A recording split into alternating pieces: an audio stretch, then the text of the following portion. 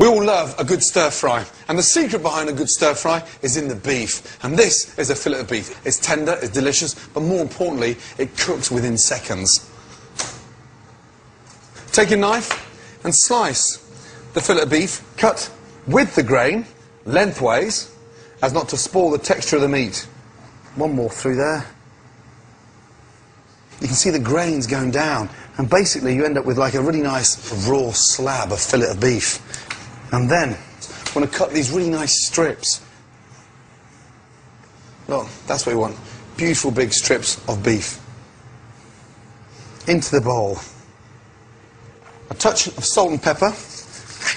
Be careful not to put too much salt in there because the soy sauce helps to season the beef and darken the colour of the meat. Then, a teaspoon of toasted sesame seed oil. That gives it a really nice oriental flavour and one tablespoon of groundnut oil. Groundnut oil is a neutral oil, so it's not as thick and rich as olive oil.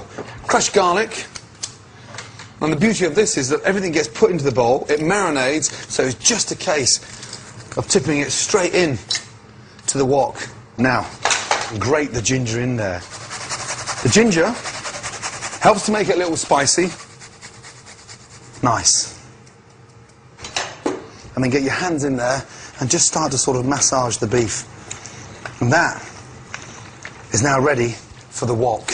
The most important thing about cooking inside a wok is we've got to colour the meat, not boil the meat.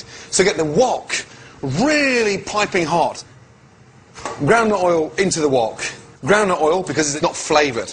Be quite generous with the oil because we drain it off afterwards. So swirl the oil round.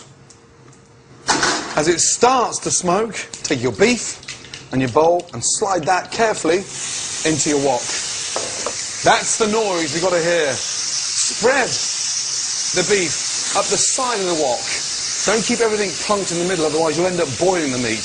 Now, searing the beef off takes 90 seconds. And to toss the wok, push away, pull it back towards you. Push away, pull back. Almost like you're shoveling in air. Down and back. Push and pull back. Push and pull back. Don't leave the wok off the heat too long, otherwise you lose the heat.